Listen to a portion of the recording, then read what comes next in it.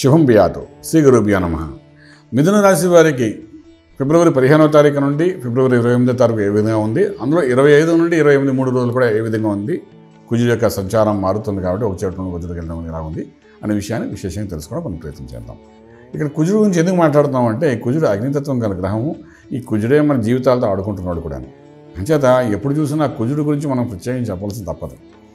జీవితంతో ఆడుకుంటున్నాడు అంటే అక్కడ ఇక్కడ మళ్ళీ ఇంకొక భాష కూడా మా నా భాషలో నేను డూ అలాగే మాట్లాడతాను గ్రహాల గురించి. ఎవ్వరూ తప్పుకు అనుకోకలేదు. నాకున్న స్నేహభావం వాళ్ళతో అలాంటిది. వాళ్ళకి నాకున్న స్నేహం అలాంటిది. ఆ భావంతోనే అనుకుంటాం. భక్తి అనేది ఏ భావంతో ఉంటుందో అలాగే ఈ సబ్జెక్ట్ మీద మేము ఉన్నాం కాబట్టి వాళ్ళని అలాగే మాట్లాడతాం సంబోధించి. దాన్ని ఎవరు తప్పుగా అనుకోకలేదు. చాలామంది నా కామెంట్స్ కూడా చేశారు. ఏంటి గ్రహాలు ఇలాగ అంటున్నారేంటి అలాగ అంటున్నారేంటి అన్నారు. ఎందుకంటే మాకు రోజు దినచర్యగా రోజుకు వంద కేసులు చూస్తూ గ్రహాల గురించి మాట్లాడుకుంటే ఒక స్నేహభావంతో మాట్లాడుకుంటాం. ఆ గ్రహం ఇలా చేసాడు వీడు ఇలా చేశాడు. అంటే ఒక మనిషి ఒక స్నేహంగా ఒక మంచి మిత్రుల్లా భావించి ఎరావరే అనుకున్నట్టుగా మేము మాట్లాడుకుంటాం గ్రహాల గురించి. అనుకుంటాం ఆ శనిగ్రహం ఇలా వచ్చాడు రా వాడు నాతో ఇలా చేసాడా రాహు గ్రహం ఇలా వచ్చిందిరా నీకు ఇలా చేస్తుందా వాడు వచ్చాడు కదా వాడు ఇలా చేస్తాడు. వాడు వీడు ఇలా మాట్లాడడం ఉద్దేశం అంటే మాకున్న అతి ప్రేమతో మాట్లాడుతున్న పదాలు తప్ప ఇది వేదో గ్రహాలను కించపరచడం అనుకోకండి. ఎవరో కామెంట్స్ కూడా చేశారు. ఏంటి గ్రహాలు ఇలా అంటున్నారు? దయచేసి అది మా వరకు ఉండండి. మీరు దాని మీద మీ కామెంట్ చేస్తే గ్రహం మీ సంగతి చూసుకుంటుంది. అది నాకు సంబంధం లేదు. నాకు వరకు అయితే వాళ్ళు మాకు స్నేహితులే మిత్రులే. మేము వాళ్ళతో మిత్రతోనే ఉంటాం కాబట్టి మాకు ఆ- భావంతోనే వాళ్ళని పిలుస్తాం ఆ భావంతోనే టీవీ చెప్తుంటాం.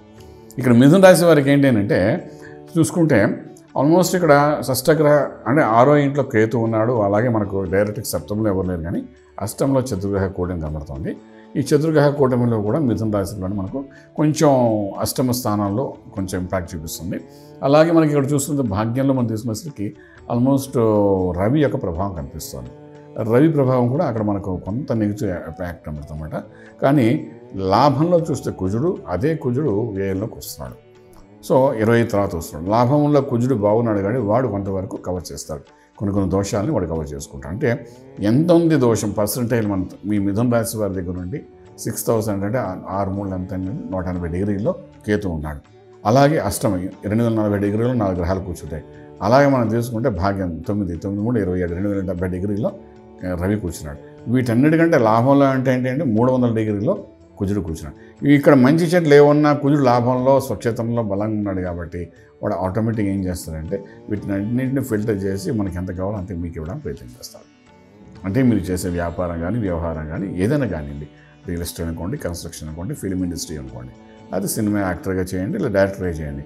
మీకు అల్టిమేట్గా మీరు చేసిన పనికి ఈ పదిహేను రోజుల్లో ఒక ప్రాఫిట్ రావాలి అనే దాన్ని ప్రాఫిట్లోనే చూపిస్తాడు తప్ప నష్టంలో చూపించారు. ఈ ప్రాఫిట్ చూపించిన తర్వాత పన్నెండులో ఇంట్లో రాహు ఉన్నాడు కాబట్టి డెఫినెట్గా అందులోనే కొంత ఖర్చు చేపిస్తాడు.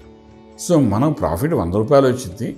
వంద రూపాయలు మనం మొత్తం తీసేసుకుందాం అనుకునే లోపల ఈ వంద రూపాయలు ఈ ఖర్చు ఆల్రెడీ పెడి ఉంది కాబట్టి అది ట్యాక్స్ అనుకోండి జిఎస్టీ అనుకోండి ఏదో రకంగా చాలా బాధ అనిపిస్తుంది. ఇడ్లీ ఖరీదు వంద రూపాయలు ఉంటుంది జిఎస్టీ ఖరీదేమో అరవై రూపాయలు ఉంటుంది. అంత కామెడీగా ఉంటున్నా మాకు చూడండి. జిఎస్టీ అంటారు. Three plus three six percent అంటాడు అదేంటో ఆ రెండు రకాల state tax state tax GST అంటున్నాడు వాడు. అంటే ఈ రెండు కలిపితే అరవై రూపాయలు అయిపోయాయి ఈ మధ్య ఎక్కడో టిఫిన్ చేయడానికి వెళ్తే పరిస్థితి అది మాట. నవ్వుకోలే ఆడవాళ్ళ మాకు అర్థం కాలేదు. అలాగేంటి ఈ అరవై రూపాయలు మనం వంద రూపాయలు ఇడ్లీ తిన్నాక సంతోషిస్తాం. కానీ ఈ ఆ మధ్యలో పోతున్న ఇరవై ముప్పై రూపాయలు గవర్నమెంట్ పేరుపోతాడు గవర్నమెంట్ కడతాడు నిజంగా అంటే I'm not sure about that ఎందుకు కడతాడు వాడు? వాడిది వంద రకాల డూప్లికేట్ బిల్స్ ఉంటాయి. అదో రకమైన డబ్బు సంపాదన. ఇట్ ఈస్ లైక్ నేను ఓపెన్గా చెప్తున్నాను అనమాట అందులో డౌట్ ఏం లేదు. సో ఇలా మనం తెలియకుండా మిథున రాశి వరకు పన్నెండింటిలో రాహు ఉన్నాడు కాబట్టి తెలుస్తూ కళకు అర్థం అవుతున్నట్టే ఆ డబ్బు పోతూనే ఉంటుంది. లాభంలో నుండి కొంత పోతుంటుంది. ఆ పోతుంటే బాధ అనిపించదు. ఎంత వచ్చింది అది ఫైనల్ అనుకుంటే తృప్తిగా ఉండగలుగుతాం. ఇది మిథున రాశిలో జరిగే పదిహేను రోజుల యొక్క స్టోరీ ఇలా జరుగుతుంటుంది ఇలా ఉంటుండగా కుజుడు కూడా ఇరవై ఐదో తారీఖు నుండి మనకు వృషభంలో ప్రవేశిస్తాడు. కుజుడు పన్నెండింట్లో ఉన్నాడు అంటే షష్టాధిపతి వ్యయస్థానం పొందడం ఒక రాజయోగం వీళ్ళకి. సో కుజుడు రావడం అనేది మిథున రాశి వారికి చాలా మంచిది. ఉద్యోగంలో స్ట్రాంగ్ అవుతారు. తర్వాత స్థిరాస్తుల మీద బలం పెరుగుతుంది. ఎప్పుడో మనకు రావాల్సిన ఆస్తి మనకు కలిసి వచ్చే అవకాశం ఉంటుంది. కోర్టు వ్యవహారాలు ఏమైనా ఉంటే అది బయటపడి అవుట్ ఆఫ్ కోర్టు సెటిల్మెంట్ అవుతాయి. అలాగే ఫ్యామిలీ ప్రాబ్లమ్స్ ఏవైనా ఉన్నా దాని రెక్టిఫికేషన్ కూడా కుజుడు చాలా సపోర్టింగ్గా ఉంటాడు ఇక్కడ. ఈ రకంగా కుజుడు అక్కడ రావడం అనేది మిథున రాశి వారికి ఒక ప్లస్ పాయింట్ అవుతుంది తప్ప అది మైనస్కి చెప్పడానికి అవకాశం లేదు. ఎందుకంటే షష్టాధిపతి వేయి స్థానం పొందడం అది శుక్రుని ఇంట్లో ఉండడం రాజయోగం అని చెప్తామన్నమాట ఇది జ్యోతిశాస్త్రం చెప్తాం కాబట్టి దాని రకంగా మనకి మంచి జరుగుతుంది. ఖర్చు ప్లస్ మంచి జరుగుతుంది. ఒక మంచి పనికి ఖర్చు పెట్టేస్తుంటాం చూస్తారు మనం? అలాగా మంచి పనికి ఖర్చు అవుతుంది కాబట్టి భయపడాల్సిన అవసరం లేదు. తర్వాత ఇక్కడ ఆరోగ్య విషయంలో చూసినప్పుడు కేతు ఆరో స్థానం ఉన్నాడు కాబట్టి కొన్ని కొన్ని ఇంపార్టెంట్ డిసీజెస్ ఏవైతే ఉన్నాయో మన శరీరంలో ఎప్పుడు చనువు ఏమైనా కనబడే అవకాశం ఉంది కాబట్టి బ్లడ్ టెస్ట్ యూరిన్ టెస్ట్ చేయించుకోవడం ప్రయత్నం చేయండి. కొన్ని బయటపడితే దాన్ని రెక్టిఫికేషన్ చేయడానికి అవకాశం కూడా మనకు కేతు ఇస్తారన్నమాట. అయితే అష్టంలో ఉన్న గ్రహాల ప్రభావం ఆలయంలో ఉన్న కేతు ప్రభావం ఈ రెండు కాంబినేషన్లో చూస్తే రెక్టిఫికేషన్ అవుతుంది తప్ప లాంగ్ లాంగ్విటీ అంటే క్రానిక్ ఇష్యూ కింద మనకి ఏం మెడికల్ ఇష్యూస్ కనబడవు. అదే కొంచెం జాగ్రత్త ఉంటే సరిపోతుంది. ఇందులో స్పెసిఫిక్గా మనకి ఏంటంటే ఆరుద్ర నక్షత్రం రాహు నక్షత్రమే పునర్వసు అనేది గురువు యొక్క నక్షత్రం అలాగే మృగసర కుజుడు యొక్క నక్షత్రం అండి. కుజుడు నక్షత్రానికి ఇబ్బంది ఉండదు ఏమాత్రము. అలాగే మనం తీసుకుంటే ఆరుద్ర నక్షత్రానికి కూడా రాహు నక్షత్రం కాబట్టి పన్నెండులో రాహు ఉన్నాడు.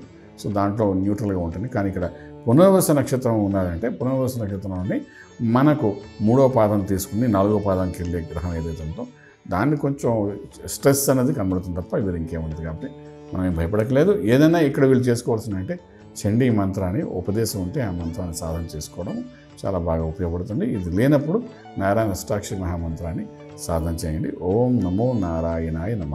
ఈ మంత్రాన్ని పదిహేను రోజులు చక్కగా చేసుకోండి. పదిహేను అంటే ఆల్మోస్ట్ ఇరవై ఎనిమిది తారీఖు వరకును చేసుకుని వెళ్తే కొన్ని రిలాక్సేషన్ ఆరో ఇంటికి ఎనిమిది ఇంటికి ఉన్న దోషాలు ఏవైతే కొంత రిలాక్స్ అవుతుంది డెఫినెట్గా రాజమార్గంలో రాజ్యం పొందగలుగుతారు శుభం బియాదు పూర్తి వివరాలకు సంప్రదించండి. Shri Vedamata Gayatri Jyotishyalayam. Brahma Srimantha Suryanarayana Sharma. Srinilayam first floor one nought one. Sai Vaibhav layout Chitrapuri colony Khajaguda Hyderabad five lakhs eight. సంప్రదించవలసిన phone numbers triple eight triple five nine one four seven. Triple eight triple five nine one four eight. Nine eight four triple nine six triple four.